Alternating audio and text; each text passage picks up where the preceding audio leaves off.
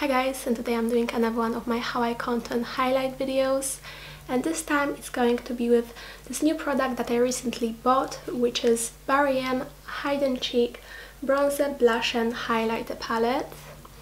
If you haven't seen any of these videos, it's basically where I contour my face, I show you how I contour and highlight and also I will review a new product, give you my first impressions and things like that. So my contouring routine doesn't really change much throughout the videos because I love my contouring routine so much, it works really well for me. But it can still be quite beneficial to those of you who haven't seen any of my previous videos.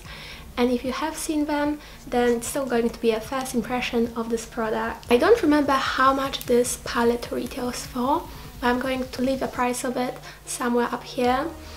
But this is how it looks. I really like the packaging, it's like a cardboard packaging that's magnetic and the color scheme is pastel, very spring-like and when you open this up, this is how it looks. So it comes with one big bronzer, two blushes and two highlighters. So we have a nice variety. The only thing that I'm kind of skeptical about with this contour kit right now are the blushes. First of all, they're really bright. I might be able to wear the orange one if it's not too, too pigmented. I don't know if I'll be able to wear this pink one on day-to-day -day basis, it just looks really bright. And second of all, they also look really glittery, especially the pink one looks really glittery. The highlighters on the other side, well, this one looks matte, the nude one looks completely matte. And the white one looks a bit shimmery, but nowhere near as shimmery as the blushes. And the bronzer looks completely matte, so I'm hoping I will be able to contour with this. So yeah, let's just open up this. Let's start with the bronzer. Going to swatch it on my finger. It looks quite orange, so perhaps not the right shade to contour with for everyone. I will see how it looks on my face because it's really difficult to judge by the swatch, but by swatching it, it looks really quite orange and I know a lot of people prefer more ashy tones, grey tones, bronzes. Okay, let's swatch this pink blush on this finger and orange one on this finger. So that's how they look. The pink one looks so glittery. It has like these specks of gold glitter. So I think for a party, it might be a nice blush but never blush that I would wear on daily basis. It actually looks really pretty but definitely for more of like special occasions, fancy dress, going out. The orange one looks a bit like NARS Orgasm, just more orange, not pink, so it has that gold shimmer to it, not as much glitter, just shimmer. And yeah, let's swatch them on my hand. The pink one doesn't actually swatch as intensely as I thought so it's perhaps not going to be like really crazy really crazy pigmented perhaps I can actually wear it I mean it has a lot of glitter but let's watch these highlighters so the nude one the white one Oh, I really quite like this white one. It looks quite intense.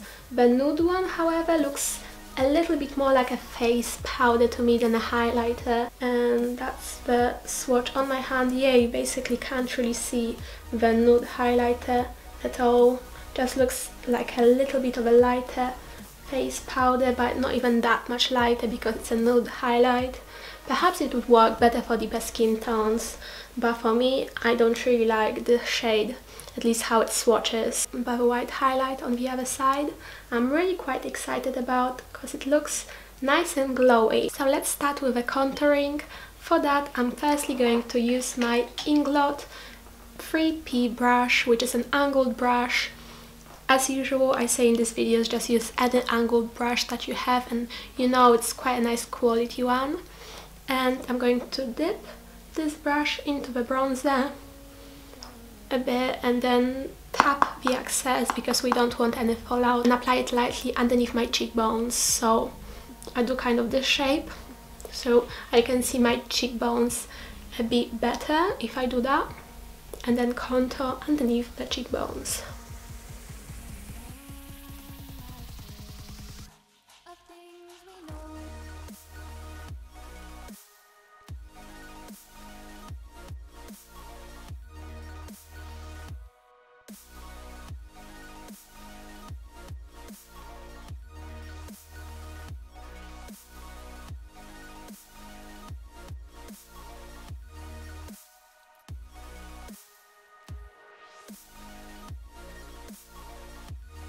Okay, don't worry if this is not completely blended, we're going to blend it in a second.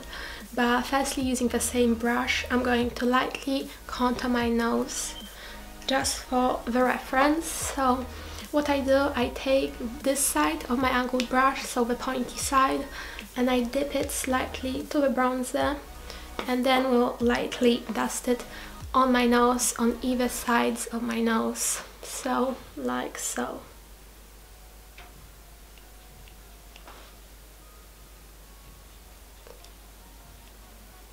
And I don't use as much product as I do with my face contouring just because I don't want it to be too obvious. I just want to create a little bit more dimension to my nose but I don't want it to look like it's two completely different shades because I think that will make it quite obvious.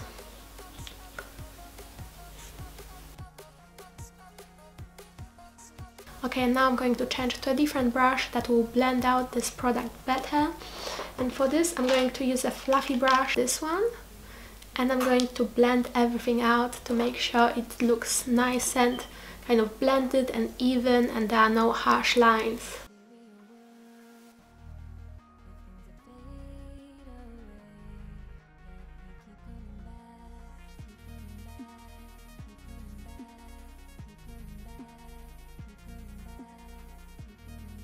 One thing I can say I don't really like how this product is blending. I think it's a bit hard to blend and it's definitely more of a warm undertone. So if you don't like warm sculpting shades, if you prefer cool sculpting shades, this bronzer may not be for you or you may just use this as a bronzer, as a touch-up underneath your more grey tone sculpting shade. I don't mind the colour of it, however it's not really blending all that nicely. It looks quite patchy I'm going to actually change to a different brush even though I quite like that one I'm going to change to a different EcoTools fluffy brush apply more product and try to blend it all together. So this is the one that I'm going to use, this EcoTools round powder brush and I'm going to use ever so slightly more product because I feel like it's going to perhaps be easier to blend everything out if I use just a tiny bit more product.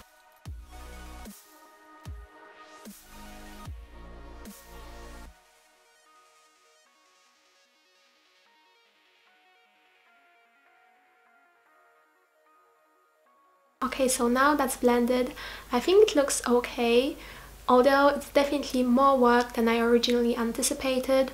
I had to blend it out quite a lot in order to make it look nice and blended and even. And even though it's not too bad looking, it still looks a bit patchy. Now I have to play around with it a bit more to be able to say whether I am or I'm not going to use it in the future.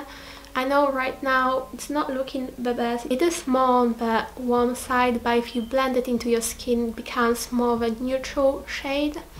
But it's definitely not the one for people who like cool sculpting shades. This won't really give you that grey real shadow underneath your cheekbone. So it's not my favorite, but let's move on to the blushes. I don't know which one I'm going to use, you guys, because after I finish filming this video, I actually need to go to my friends to look at different houses and things for next year. So I don't want to look weird. I may just use the orange one and try to use a very light hand. But the pink one is actually quite promising. I just don't think it's the one for everyday wear. Perhaps when I will be doing like a going out look, I may use the pink one in the future. We'll see. But I'm going to try to use this orange one. I'm going to use my EcoTools uh, blush brush I'm going to really tap the excess product because it looks so pigmented and then really lightly I'm going to try to apply this on my face. I'm actually quite scared because I know this one's pretty pigmented. And yeah, I'm going to smile so I can see the round parts of my like cheeks and then apply the blush on there.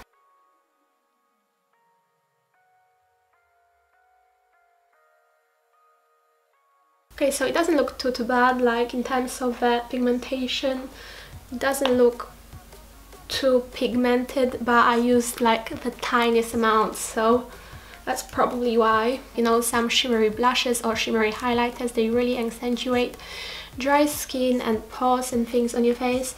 I mean, this one definitely do kind of accentuate pores, but it's nothing like all that major.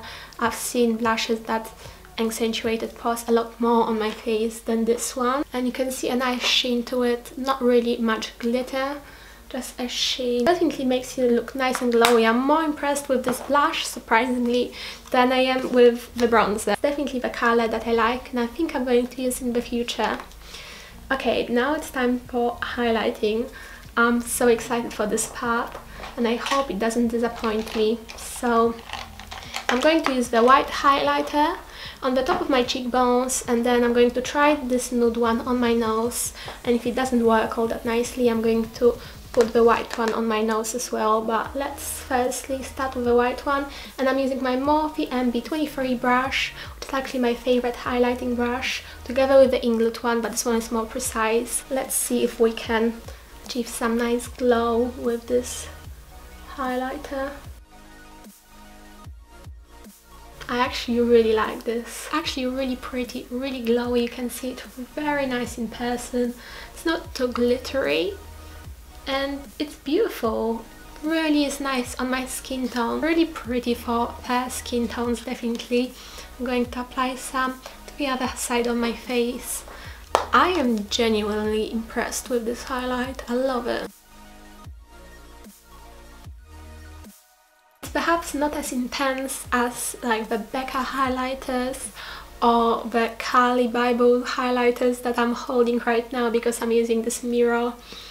But you can definitely build it up. It's definitely intense and visible and really really pretty. And yeah and doesn't emphasize any texture on my skin whatsoever which I'm so surprised about because sometimes the highlighters of this formula can really emphasize pores or texture of my skin but this one doesn't do that like it's it looks even a lot smoother than the blush that I applied early on.